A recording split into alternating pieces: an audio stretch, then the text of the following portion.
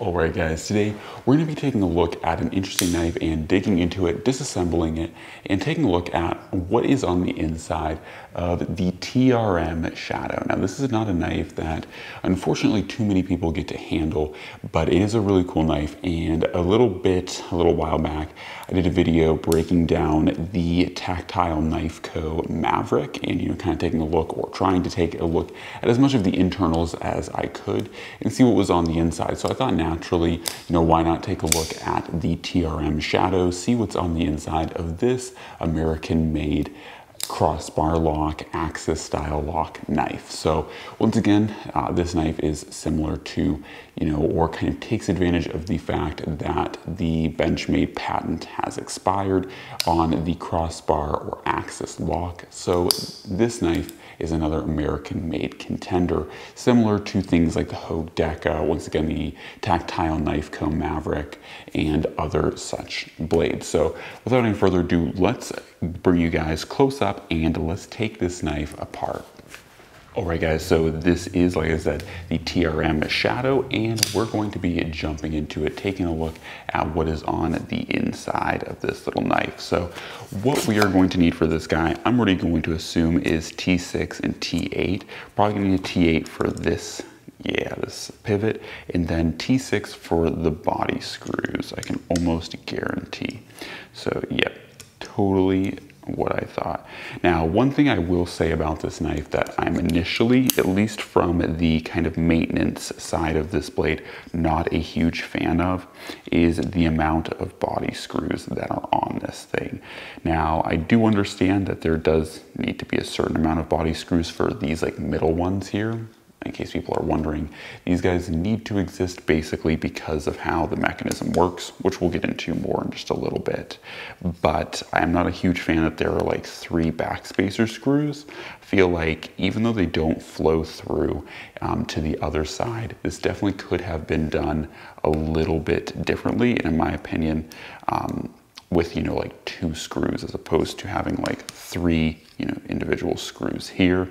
I just really don't see the purpose of having all three screws um, here. Now that being said, I do think overall it's a fairly decent design. Um, I do love the ergonomics. Like I said, the actual like user portion of this blade, I totally dig. Um, I think it's completely cool. I love the ergos.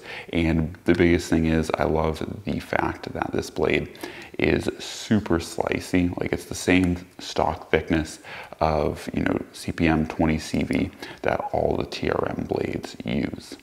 Now, like I said, because of the interesting construction of this handle, they only have screws on this side outside of this one screw on this guy on the side, but um, that's primarily because this knife that's primarily because this knife is very similarly constructed to a lot of the like Striders where you have this, this handle side is also the back spacer. So you'll see when we pull this guy apart here, um, I have to pull the actual pivot of course but you'll see when we pull the knife apart that the back spacer is kind of integral to one side of the handle. And so kind of like that style. Um, it's very unique, and interesting, and different.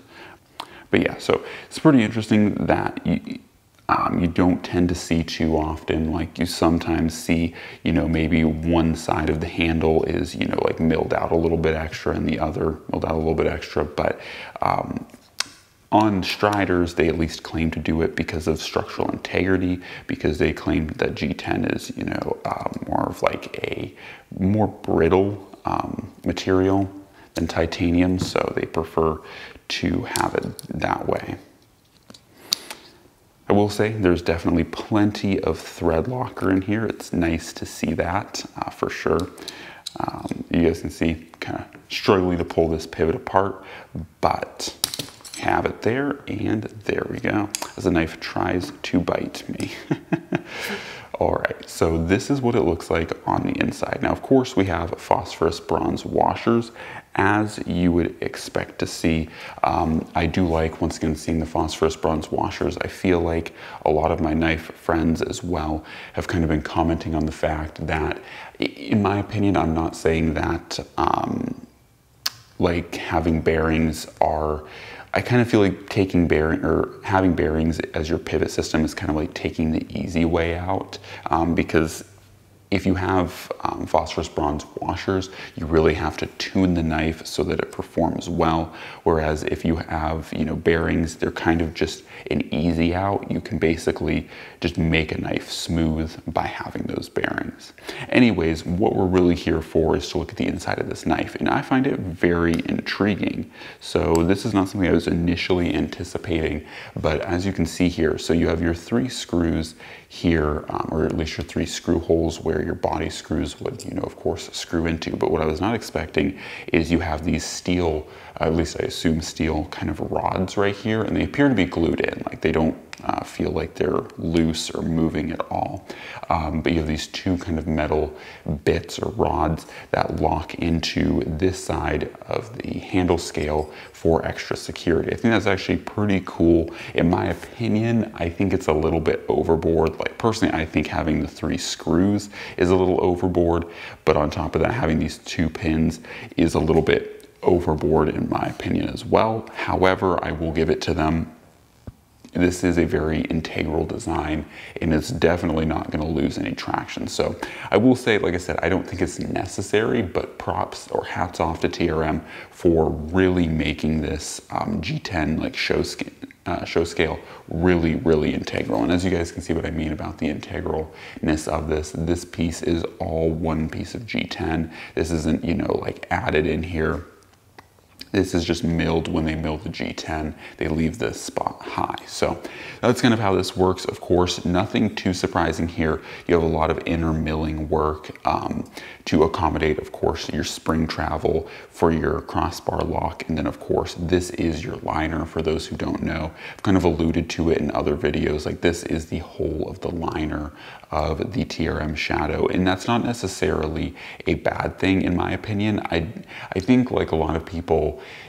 it's kind of like the false sense of notion with full tang knives. Like, you know, the, the cold steel SRK is not a full tang knife. And It's close to a full tang knife, but it's a very strong knife, right? A lot of Mora's clippers and companions are not full tang knives, but they're very strong knives. And so I think it's very similar when you look at an axis lock knife or an axis style knife like this uh, TRM Shadow and you're like, wow, these are, this is the liner of the knife. You know, that must be a really weak knife. But as far as it goes, like your locking mechanism is right here and your locking mechanism is surrounded by stainless steel, right? So this is all very strong. I'd be concerned if the axis lock uh, or crossbar lock was not supported in this way. But when it comes to a crossbar lock, you really don't need you know, to have a full steel, you know, liner because it's not really actually going to improve the strength of the knife. You know, having steel down here isn't going to increase the strength uh, of you know a part or material up here, you know, within reason. So I think that it's it's not a bad call. Of course, the um, Benchmade Griptilians are all made like this. Even the Benchmade 940 is made like this. Like you can see the um, Benchmade 940 hopefully you guys can see in here. Um, the Benchmade 940 has a very similar style. It might be hard to show on camera, but you know, like the tang of the 940 only runs to about here. And once again, it's a very similar style. So I, I don't think that on a crossbar lock, this level of, you know, liner impacts the strength and rigidity. So that being said, um, something I like is the way that they did this um, with the Omega Springs or how they did the Omega Springs. They made it a nice little slot on the Maverick. You guys, if you saw that video, they had specific holes. I like this system a lot more because if for whatever reason you have to replace one of these, it's very easy to just put it under tension and get it lined up with its slot and get it back into action. So I like this. It's very user-friendly, very straightforward, and I'd imagine it's probably cheaper to machine this whole unit than try to drill a bunch of holes. One kind of disadvantage of you know machining the hole um, as far as tension goes uh, is that like we saw in the Maverick, there were multiple positions you could put the uh, Omega spring to give you some different level of tension. But I honestly think that that's largely gimmicky because you're probably not really going to do that in the first place. Um, so I don't really think it's that necessary. Now, I'm not gonna break this knife down any further than this, primarily because I don't really need to. But if you did want to, what you would do is once again, you'd go back to your T6 Torx bit, um, as you can see.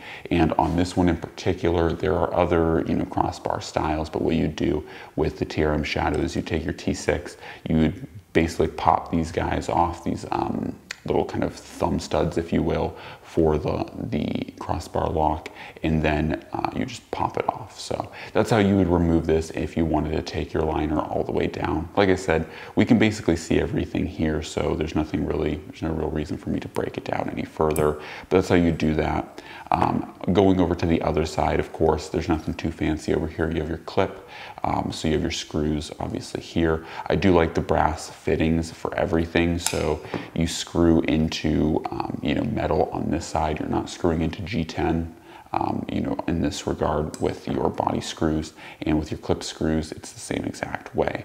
So yeah, aside from that, you just have, you know, more of the same lightning cuts. There's even a little lightning cut here. I believe this is likely just for, you know, weight reduction. I don't really know what else that, that particular hole would serve.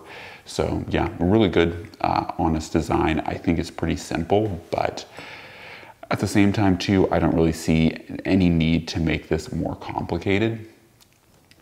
I think overall it's a really good, really easy setup. And I like how simplistic the machining is. And what I like about simplistic machining, um, you know, there's nothing really fancy here. On previous, like on the Maverick, we saw that the phosphorus bronze washers were um, milled out with holes, very reminiscent of the CRK style of knives to retain um, lubrication. But I think that this is just very simple. And what I was gonna say is what I like about simple blades like this is that usually, and in the case of this knife, it comes with you know cost reductions. So the knife is cheaper to the end user, but it's just because it's simple. It's simple and it's well made. So I really don't have any qualms with that or any issues or problems. I personally like, you know, the, the more simplistic, the better in my opinion. So yeah, I think it's a, a total win, like I said, in my opinion. So anyways, now it's time to basically do the opposite of what we did. So my plan for this, and I feel like I just kind of make this up as I go along, but my initial plan is that I want to put these body screws back in and kind of get the whole of the liner reassembled. So got that guy there. And I'm choosing to do this on this particular side, what I'd call like the backspacer side, because everything is gonna set in on this side. So I'm not as worried about reattaching this side itself. So then next one I'm gonna do is, let's see how do I wanna do this? Actually, I think with most axis lock, axis style knives like this, probably the easiest thing to do is just set this all down so what I'm gonna do is just set this guy down in here. Try to get it all locked in with those little like little bars on the inside and then I'm gonna screw it in. I think something that can be tricky with some of these is trying to get this little body screw here to suck in that other side of the liner because naturally as you guys could probably see it gets pretty floppy when there's nothing kind of holding it together, like the screw kind of pulls that liner apart from the other side of the liner. But if you run into any issues, you just use gravity, you know. It's not too complicated. And uh, for this, I'm not even gonna put this T6 um, back in the screwdriver. I can just do this by hand because I'm actually gonna come back through and you know truly tighten it. But to get these screws initially started, I'm just gonna use my hands. So yeah, overall it's a really simple blade. Um, the hardest thing for me, the thing I dislike the least is reassembly on any crossbar knife. In fact, I don't usually show it because it's just a little bit of a game, but I'm gonna see if I can show it in this one. I'm sure that there are different styles of reassembling, you know, axis lock knives, but this is kind of the style that I use most often. So what I will do, I have a little bit of KPL here too. As I throw the cap around. I have a little bit of KPL, so usually what I'll do is just take some KPL, run it across the inside of the you know kind of mechanism. So I'll usually try to do that and then set that someplace where the KPL won't make too big of a mess. And then what I'll do is, so I'm gonna take this um, this guy here, and of course there is a flat, and I think on most of these you know, pivots, or on a lot of pivots you'll encounter, there's like a little flat you know, bar there, so you just want to match that flat bar. In this case, the flat bar is upwards, so we'll do that. And then I just ever so slightly try to start the, um, start the pivot in there. So I have just a little bit of that pivot going up.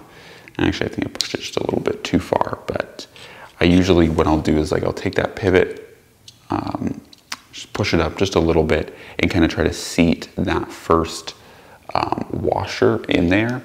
And I think what makes this easiest is using like a T6 just in your hand or any Torx bit for that matter and just kind of seat it in there.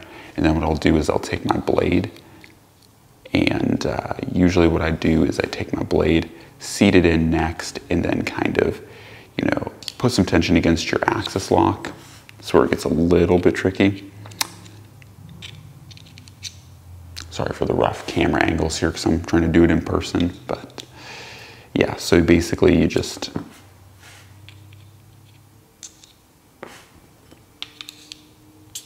do this kind of thing. And it's always a little bit tricky because you have to try to line up, you know, like two liners and a blade. And of course, then, like I said, the other trick is you have to line up two liners, a blade, and you have to hold back your axis lock. So unfortunately, I actually did get it to go through, but I did not get my second. All right, and we almost have all of it together. Like I said, a lot of it's just kind of taking like what I will usually do with reassembly on these guys is try to take you know, a um, Torx bit and just kind of use it to push everything into place. And then there we go. So everything is locked back in, just needs its pivot screw. And that is of course a T8. So I'll throw this T8 back on here.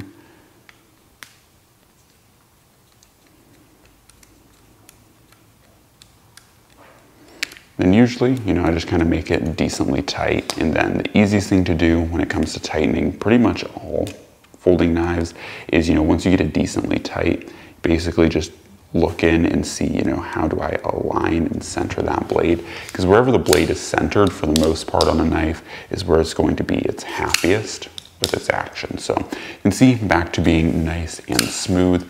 Now the only thing that's left to do is just go back over all of those T6s that we put in and just torque them down a little bit. Once again, it's important to note in my opinion, um, when it comes to T6s, I try to, you know, put a decent torque on them, you know, to make sure that they're not just going to back out. But I really, really do not put that much force on a T6 because T6 uh, Torx bits are just so easy to strip. I really dislike it when knife companies use them. That's why I think, if I remember correctly, on the Maverick, everything was a T8. I really liked that, not just because it was the like homogeneity the uh, like homogeneousness of the you know Torx bits, but also too at the same time, it was nice that it was just one singular you know bit to take the whole knife apart. But also T8s are a little bit more durable. So, anyways, that is a look at the TRM Shadow, and hopefully you guys enjoyed taking a look at this knife and breaking it or seeing it broken down. It's really a simple knife on the inside, but I honestly don't mind that. You know, I think some knives get lost in the sauce of being too complex or too showy or having too many little, you know, options.